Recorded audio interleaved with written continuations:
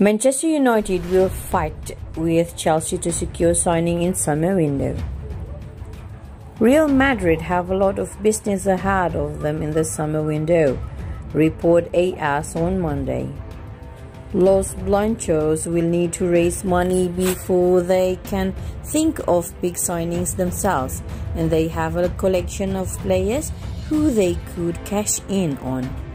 10 players are in the picture of exits, including several on loan, but Raphael Varane could be the biggest name to leave the club.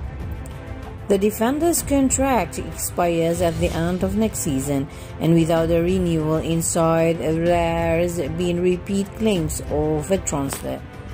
Manchester United have been the club most linked, and Chelsea have also been dragged into the picture.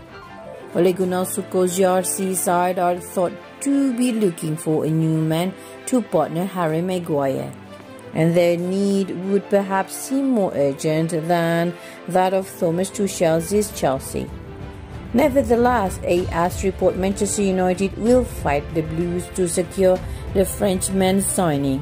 Once again, the figure of 70 million euro is suggested as a transfer fee.